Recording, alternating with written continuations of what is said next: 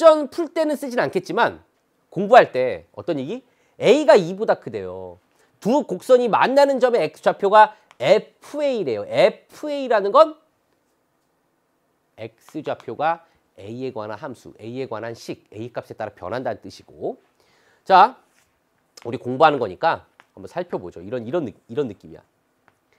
2의 x 마이너스 1제곱은 음, 2의 x제곱이 있을 거예요. 2x제곱. 얘를 x축 방향으로 1만큼 평행이동할 거고 자, 여기가 0이고 여기 1일 겁니다. ax제곱인데 미친 a가 미친 a가 2보다 크대요. 그러면 얘가 어떻게 돼?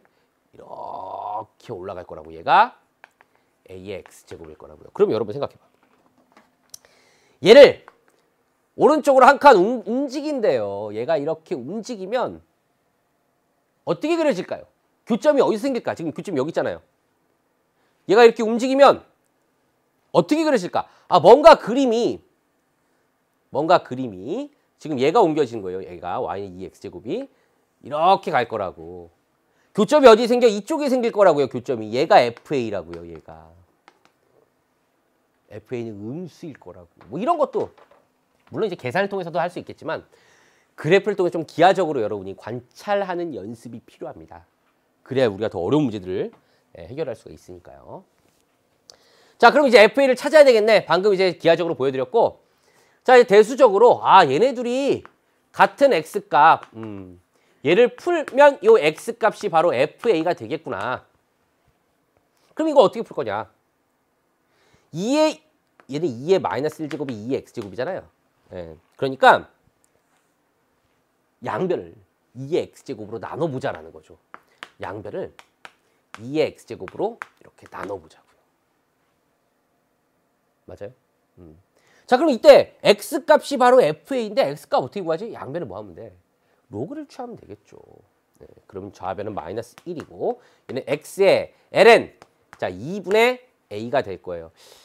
그대로 놓고 아 뭐 계산 한번 음, 간단하게 정리를 해보죠. ln a 마이너스 ln e 즉 여기는 1이 된다라는 것을 알 수가 있겠네요. 자 x는 그럼 뭐가 됩니까? 1 마이너스 ln a분의 1이라는 값을 얻을 수가 있고요. 음수잖아요. a가 2보다 크니까. 얘가 뭡니까? fa라고요. 우리는 fa를 뭐 했다? 찾았다.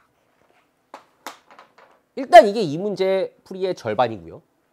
나머지는 나머지는 이 극한값인데요. limit 자 a가 2보다 큰 쪽에서 1을 향해 갈 때 자, 2-a분의 fa분의 1입니다. 그럼 이 역수치에서 올리면 돼요. 그러면 1-ln a가 된다고요. 그럼 여기서 우리는 어떻게 해야 되느냐? 물론 이제 뭐, 음, 뭐, 로피타리 정리다 뭐 이런 거, 그쵸? 교육과정 외의 것들을 이용해서도 할 수 있겠지만, 그게 우리의 목적은 아니죠. 그쵸? 이럴 때는, 어, 사실은 저는 이제 교육과정 외의 얘기는 잘 하질 않는데, 교육과정 안에서 이걸 어떻게 해결할 거냐? 딱 보면 우리가 이 로그가 지금 나와 있고 이 마이너스가 나와 있고 지금 0분의 0꼴이란 말이에요. A가 지금 2를 향해 가고 있다고. 그럼 어디를 향해 가는 게 좋을까? 0을 향해 가게끔 만들어야 우리가 알고 있는 편안한 예, 극한에 관련된 공식이 나올 거라는 거죠. 그 생각이 필요하다라고 하는 거. 얘를 t라고 치환해도 되고요.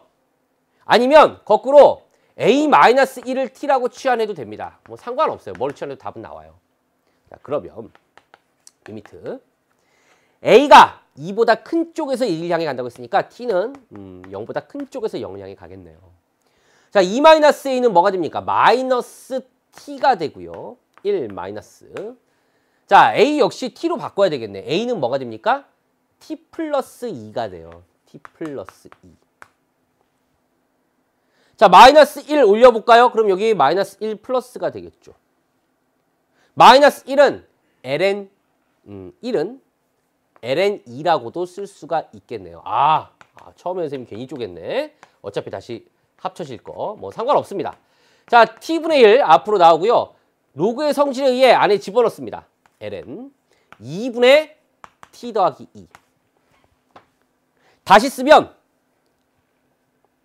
1 더하기 2분의 음, t가 되겠죠.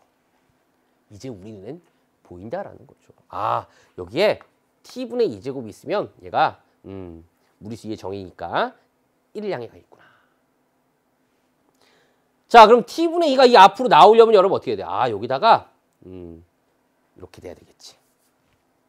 그러려면 우리는 음, 여기 앞에다 쓸까요? 2분의 1을 곱해야만 음, 등호가 성립한다라는 걸 알 수가 있다. 자, 그래서 우리는요. 아, 얘가 뭐야? 1로 수렴하니까 극한값은 2분의 1이다라는 값을 얻을 수가 있다라는 거. 됐습니까? 선생님이 좀 하나하나 막 증명해 가면서 설명을 하느라고 좀 시간은 걸렸는데요. 어, 중요한 건요. 음, 제가 공부할 때 이제 기하적으로 아까 해석을 했지만 사실은 요 FA라는 식을 보고 아, 얘는 이제 A에 관한 식이야. 지금 A가 어디론가 간대. 그럼 얘도 A에 관한 식이 나올 거야. 그럼 극한값을 구해야 된다는 거죠. 그럼 이거 뭐야? 둘이 같다라고 놓고 여기까지만 해결할 수 있으면 거의 뭐 7, 80%는 해결했다라고 볼 수 있겠지. 그 다음에 극한값을 못 구했다. 라고 하면 그 여러분이 이제 가지고 있는 여러 가지 이제 참고서나 문제집 있잖아요. 그 중에서 지수함수와 로그함수의 그 극한값 계산 파트가 있어요. 그 부분만 쫙 여러 가지 문제들이 나와 있거든요. 그 부분을 복습하시면 된다는 거죠. 이 뒷부분이 안 됐다면. 됐습니까? 음. 자 이렇게 해서 17번까지 해결을 했습니다.